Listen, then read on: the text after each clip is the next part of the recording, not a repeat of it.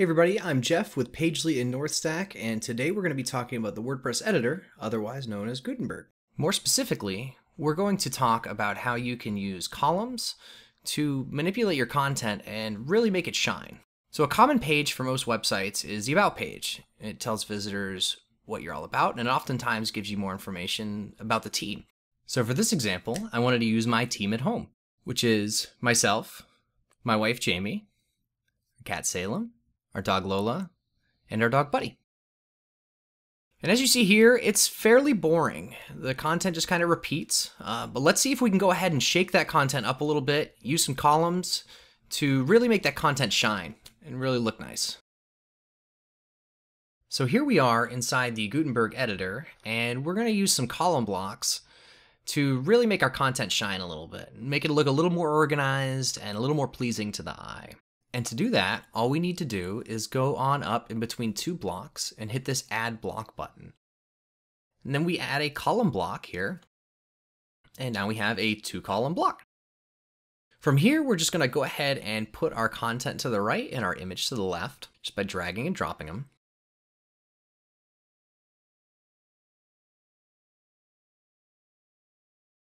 And there's this little side effect that happens when you add a two column block and it'll cause these extra blocks to be here. All you need to do really is just click on the block and hit the backspace button, it'll fix that little problem. So for Jamie's section, we're gonna do about the same thing, but we're gonna take her image and put it on the right and the content on the left.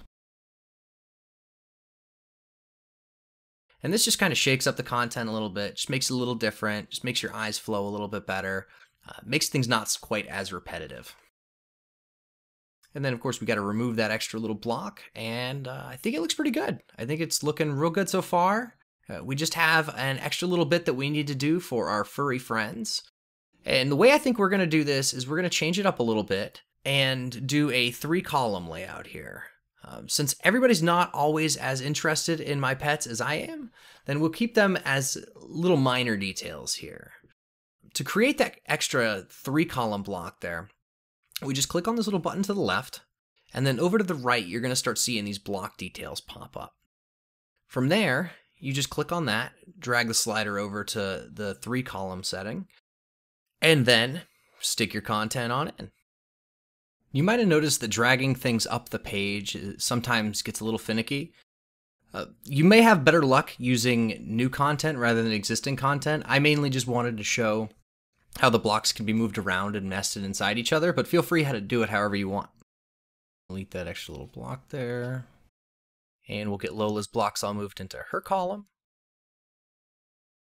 One thing to mention here is that when you're moving blocks around in the Gutenberg editor, sometimes they might not go exactly where you expect them to.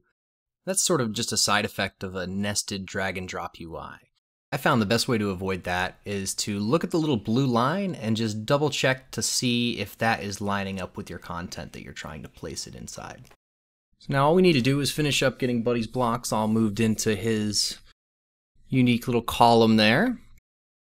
And so far we're looking pretty good. I'm starting to really like this. I think this is looking like a really nice layout here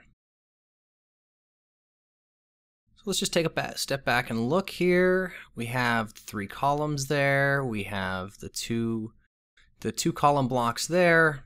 I think uh, I think it's looking pretty good. Let's save the draft and hit our preview. And here's what we're looking like. I think it's looking pretty good. This is definitely a huge improvement of what we had before, and uh, this is just kind of proof that the column blocks can really, really help and generally improve your layouts quite a bit with, with very minimal effort. So if you have any uh, layouts that you've used or any fun ways that you've used column blocks inside the Gutenberg editor or other blo Gutenberg blocks that you may really like or want to see more content on, absolutely let us know. Just drop us a comment and we'll be happy to take a look.